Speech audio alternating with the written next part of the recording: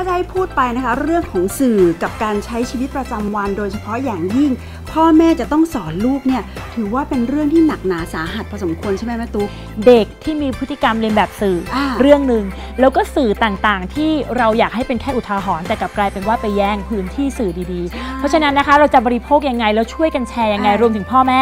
จะแนะนำแล้วก็ดูแลลูกยังไง เรามีอาจารย์จากนิเทศศาสตร์จุฬามาให้คำแนะนำในเรื่องนี้ค่ะถูกต้องค่ะเพราะฉะนั้นต้องติดตามชมเลยนะคะ